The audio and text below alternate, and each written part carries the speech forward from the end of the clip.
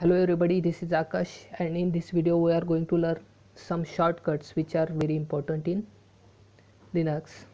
So let's start with it. While entering any command you can use these shortcuts. First we will enter one command. You can use this shortcut at any commands. I'm entering touch. File 1 file 2 file 3 file 4 now if you want to directly jump at first of means beginning of command for that use shortcut control a. Means you can directly jump to your beginning of your command.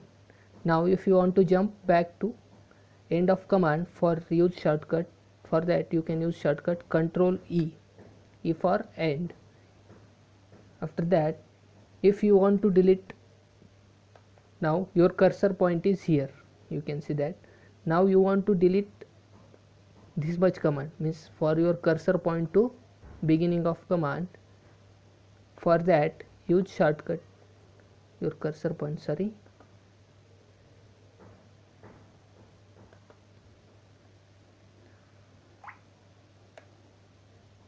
Your cursor point is here. Now you want to delete from this cursor point to beginning of command for that use shortcut control u. You can see that from your cursor point to beginning command is deleted.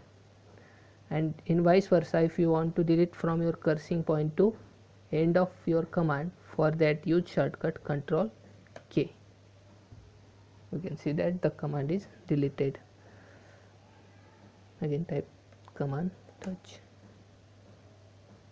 file 1 file 2 file 3 file 4 now if you want to jump word by word at left or right for that if you want to jump at left use command control left arrow to jump left word by word.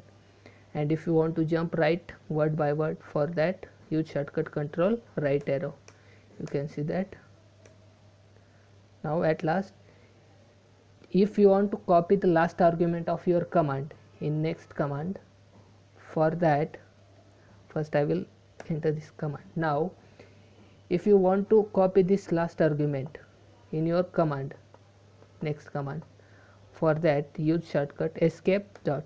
You can see that the last argument will copied here. So this was some basic shortcuts which are mostly used in linux so thank you guys. If you like this video you can press like icon and for more videos subscribe my channel.